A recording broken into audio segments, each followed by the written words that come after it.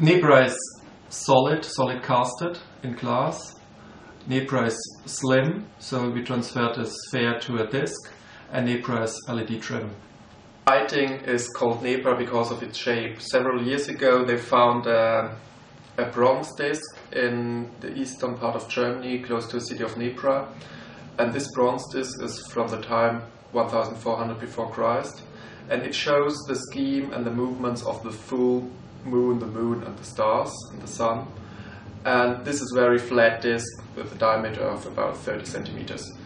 And uh, I was inspired by this fact of this movements and also this thin outline of this disk. And I, that's why I wanted to, to call this very flat disk like a lamp, also Nebra, connected to this uh, relic they found in, in Germany because I think glass is the best material for, for light. And in this case with the casting you have different uh, thicknesses of the lampshade. So also the quality of the of the light will change in the Nebra lightings. You can hang in a group or also in a, in a row.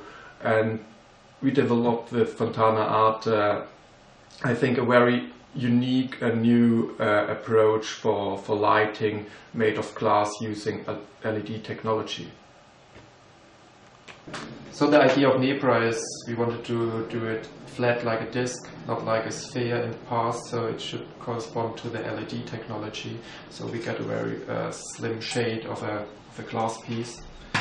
And we transferred this classic bulb a disc. You can see here from the one view, front view, it's, it's really like a, a sphere, it's round, and from the side view, it's flat like a, like a disc.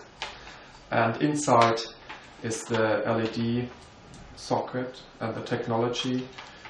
And this shape is now possible because of this uh, new uh, yeah, technologies of uh, the LEDs. So we can do the lamp slimmer but get a similar atmosphere like with the classic round shape.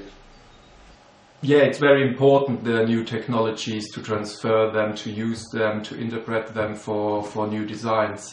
So in this case of Nebra, you you are able to to to transfer a globe to a to a to a disc to to have a completely new approach and a new appeal of lighting, and and this was uh, definitely um, technology or LED driven in this process.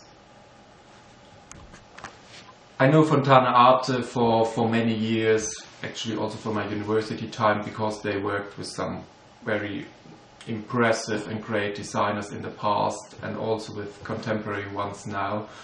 And when I saw the presentation, I think two years ago, I was very into it and I really fell in love with, with the style and the direction they do now. So I really wanted to do something for them. So I'm very happy now that we did uh, Nebra for this year for the launch at Salone.